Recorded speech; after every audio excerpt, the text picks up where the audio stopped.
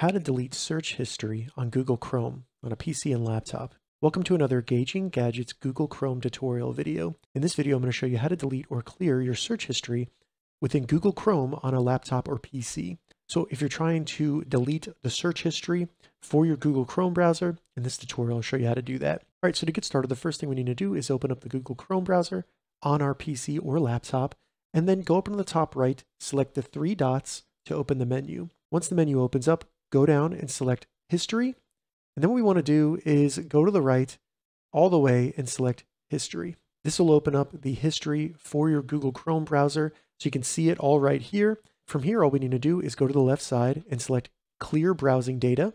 This will open up the settings for Google Chrome. And in here, you have a couple different options for how you can delete your search history on Google Chrome. So they have two different tabs here. We should be fine selecting basic. After that, we can select the time frame for the history that we want to delete. So you have anything from an hour, a day, week, or all time if you want to delete everything.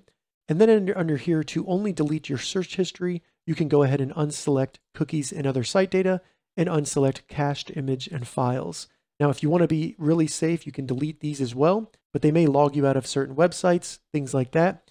So you should be fine with just deleting your browsing history. After that, go down and select clear data. And then once you select clear data, your search history within the Google Chrome browser should be deleted. All right, so that's how you delete your search history in the Google Chrome browser.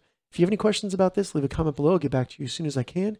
If you'd like to see more Google Chrome tips and tutorials, check the links in the description. If this video helped you, give it a thumbs up, and please consider subscribing to my channel, Gauging Gadgets, for more gadget reviews and tech tutorials. Thank you so much for watching.